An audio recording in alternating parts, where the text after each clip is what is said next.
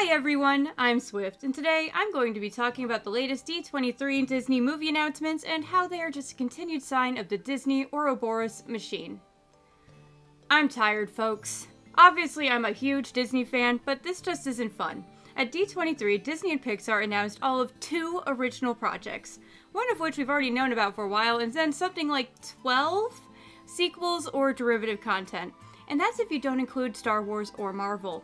This has to be the most disappointed I've been after a D23 reveal probably ever. It just so thoroughly shows the absolute worst of what Disney has become a self loathing, self praising, self consuming Ouroboros. And it doesn't seem to show any signs of pulling the tail out of its mouth anytime soon. The best I can say is that at least there wasn't a Josh Gad Hunchback announcement. I don't really know what the goal of this video is. I'm just tired and I'm gonna try to keep it brief. When the Moana 2 trailer initially dropped, I didn't bother saying anything because, well, a lot had already been said. Moana looks weird and off model, it's going to be terrible, we're back to the Cinderella 2 failed TV shows to movies route, and it probably won't be nearly as respectful to Polynesian cultures as the original was. The rest of the announcements either had only been rumored or didn't really fall into my interests, like Mufasa. But dang, seeing them all lined up and fully announced is just deadly. It's just all so creatively bankrupt. These aren't about telling us more about the characters or exploring their world anymore. These are about milking an IP until the public is completely sick of it and it's dead. I mean, Toy Story 5? Five? what next? Uh, Woody has to reunite with his buddies or something because being homeless sucks? The little girl grows up now? I got nothing. I don't want to know. What? Oh, oh, hang on. Apparently it's technology bad, toys good. Just going by this one picture. Which is really funny since they've shown video games and computers in like every Toy Story movie as a neutral force or just another way to play. Not to mention, like, we don't know what this kid is doing. Are they reading a book? Playing a game? Because, you know, I did those things too as a kid at night, and I'm 30.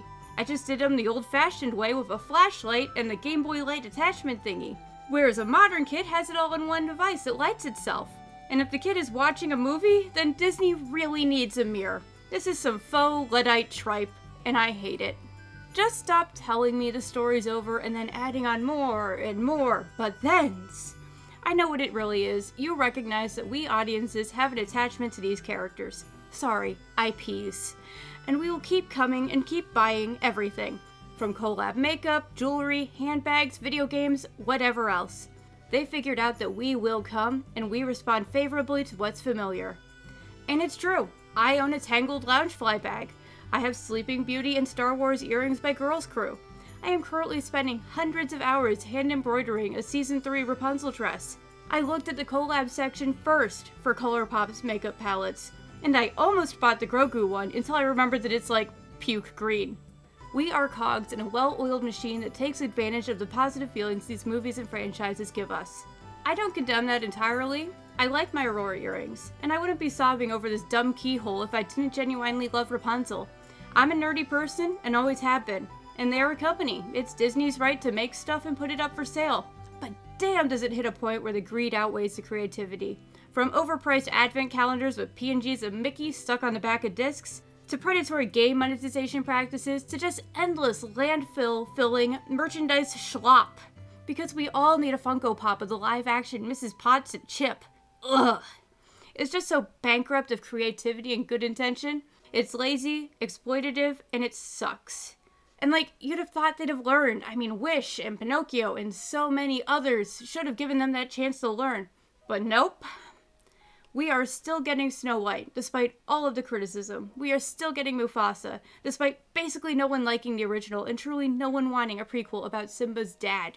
Remember when they said they waited like a decade for the right script to make The Incredibles 2? Guess that's not what's important anymore. Frozen 3's concept art looks literally like a screenshot of Sleeping Beauty with Elsa and Anna imposed over it, and what I hope to God is not Loki in the bottom corner. But those horns, them being in Scandinavia, it, it totally is, isn't it? Obviously, not the Marvel Loki for the record, but the trickster god Loki of Nordic mythology. Disney just needs to stop and think. For five minutes. This method of nostalgia feeding endless IP growth isn't sustainable. Eventually, we audiences will be fed up. Just look at the drop in Marvel movie views. Those are so bad, they've resorted to bringing back Robert Downey Jr. as if he has enough star power to save this living corpse of a franchise. And then the two original projects are Elio, the Lion Gets You in Trouble alien movie that I am really not excited for, and who can blame me? Given Disney's track record with 3D animated alien movies, no one should be excited to see Disney try to make yet another wacky First Encounters movie.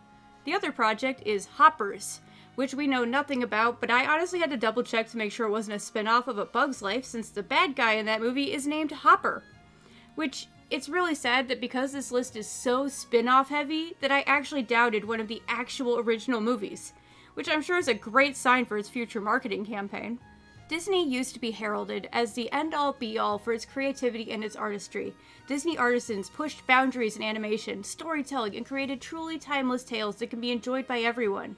I think we all know that those artists are still there, still trying to make magic happen. But Disney as a corporation is only seeing immediate payoff dollar signs in its head and is missing the bigger picture. If they want more successful IPs, they need creativity. Overall, I'm sad, I'm tired. D23 used to be one of my favorite times of the year. I would get so excited to see what cool new things to expect. But this year was probably the worst ever. And unless they do a complete redirect, this snake is going to run out of tail to eat. I just want to see original stories again. I really don't think that's asking for much.